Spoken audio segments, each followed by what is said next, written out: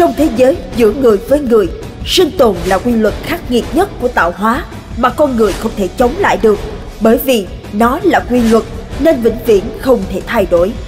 Một câu chuyện tổng hòa giữa cảm giác của sự bất ngờ và trần tục được chuyển biến khéo léo để trở nên phi thường hơn nhưng lại nhẹ nhàng, thuần khiết, khiến độc giả đi từ bất ngờ này đến bất ngờ khác. Độc giả một khi đã sa chân vào dòng chảy thời gian của nó thì khó lòng bước lên bờ của hiện tại. Một bức tranh sinh động đến ngỡ ngàng về thế giới các ông trùm xã hội đen khét tiếng một thời.